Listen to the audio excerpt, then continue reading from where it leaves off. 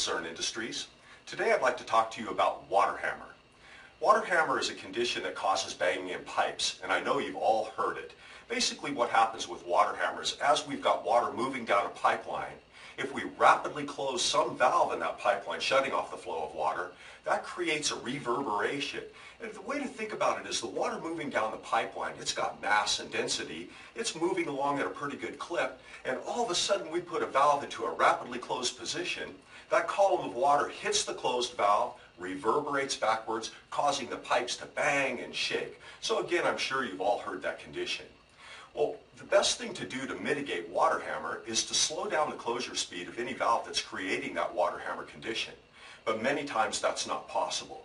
For example, flush valves, they tend to close fairly rapidly and they can create a water hammer condition. So in those cases where we can't close, uh, slow down the closure speed of any uh, particularly fast closing valve, we'll have to mitigate that water hammer condition with what we call a water hammer arrestor. Now here, we're in a different location than we usually film our videos. We're in our display room. Uh, we've got clear walls behind us so that we could showcase some of the products that we manufacture here at Zurn. One of the things that we do manufacture are water hammer arresters. You can see the copper tube back behind me on that cold water line. Water hammer arresters are made to mitigate that banging of the pipes caused by the water hammer condition. Now to give you an idea of what a water hammer arrestor looks like, internally it has a piston that's sealed against the copper pipe with a couple of O-rings. Above the piston there's a charge of air and below the piston it's exposed to the plumbing water.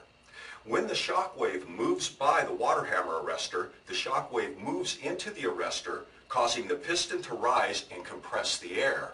And as that compression occurs, that's eating up the energy of that shock caused by the quick closing valve.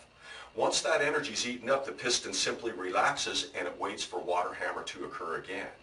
So water hammer arresters, again, they're relatively simple. They don't require any charging or any maintenance of any nature. In fact, they can be installed inside of a sealed wall. There's no need to have an access panel for them. With respect to sizing of water hammer arresters, they're sized based upon the fixture units that we're going to protect against from the water hammer condition.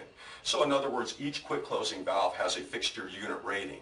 We add all those fixture units up on a given line and size the water hammer arrestor to handle the shock of those given fixture units. In the event that we're not dealing with a typical flush valve or other valve that causes quick closure and water hammer effects, say for instance we're in an irrigation system, Water hammer arrestors can also be sized based upon the pressure in the line and the length of the pipe run. So again, two ways to size them to, in order to get them correctly sized to solve that water hammer and the banging of pipes, that condition that we hear, we feel, we see. We want to stop it because it can be very detrimental to the plumbing system. I hope you liked this video. If you enjoyed this video, please subscribe to our YouTube channel. For more product information or to speak to a customer care representative, please visit our website at zurn.com.